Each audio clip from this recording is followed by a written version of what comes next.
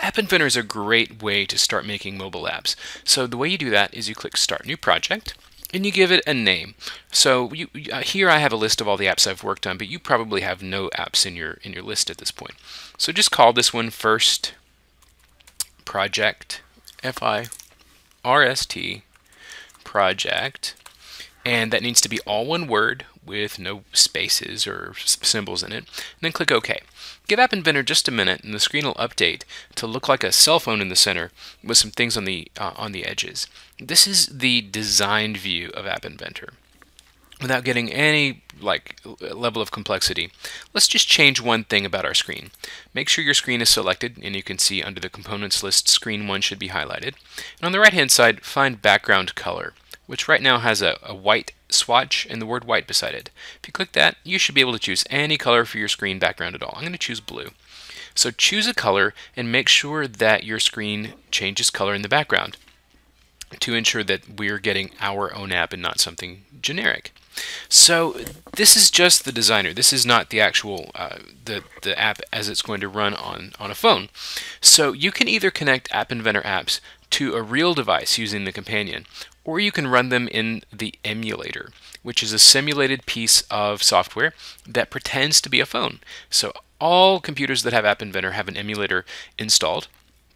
And this video is going to show you the process that you need to go through to get that to run. The first thing you need to do is click your Start menu if you are on Windows, and then find AI Starter. And you can just type AI and then hopefully AI Starter will pop up in your list of programs.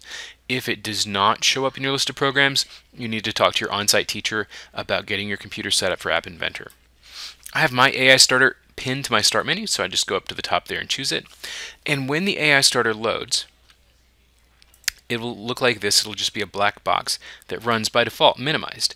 And it's nothing for you to look at. It's just a tool to help your uh, App Inventor connect and run on devices. So once you have your AI starter running, then you can go to the Connect menu and choose Emulator. And it should say starting the Android emulator, please wait, this might take a minute or two. And it really does mean like full couple minutes. You should see a, uh, a phone or a piece of software that looks like a phone starting up, and this is like the world's ugliest, oldest, straight talk phone you've ever seen. And that's okay. So we're going to wait. Uh, the, the software is so convinced that it's actually a phone that it actually has to boot up. And you'll see on it that it says it's charging and it has its own signal indicator. So we're just going to wait um, for this boot to boot up and you'll have a similar experience on your computer every time you start the emulator.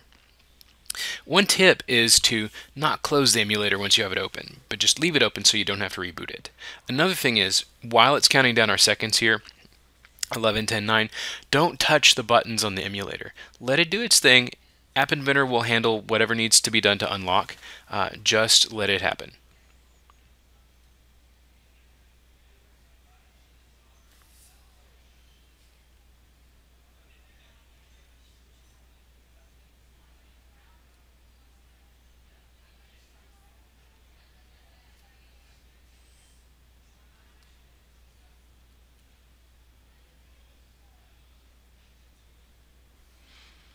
Now, you're going to get a message just like I did that says your companion app is out of date.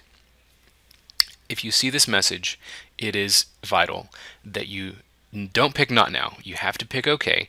And this is saying the version of the software that's installed on your emulator needs to be updated. Just like apps, but uh, just like apps on a real phone, they occasionally need updated. So you click OK, and it says we are downloading an update from the server. Please stand by. And now it gives you the instructions here on the screen. You have to bring your emulator back up by clicking on it down here, the little green man. So you have to bring your emulator back up and then you're going to follow these instructions.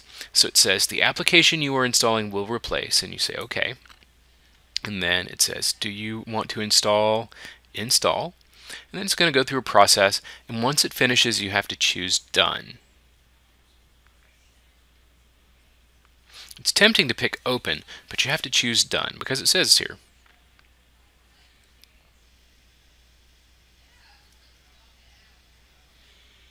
Alright, so now you choose done and you switch back to the App Inventor screen. Dismiss this with the Got It button. And the instructions were to say Reset Connection under your Connect menu at the top, Reset Connection.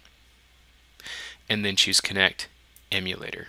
And the whole process starts again. The thing is going to boot up, and then it's going to do its countdown, and then hopefully we'll see our screen with a custom color in the background of the emulator.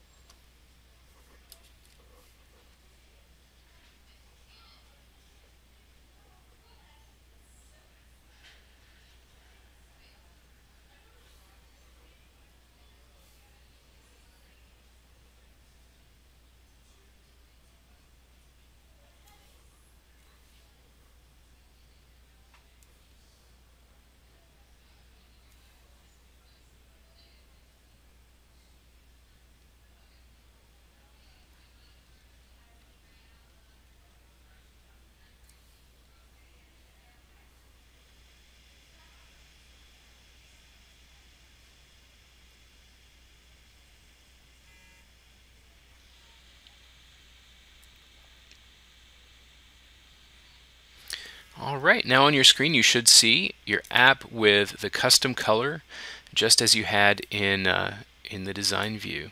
Now if we had buttons or if we had other things installed in here, we'd be able to interact with them.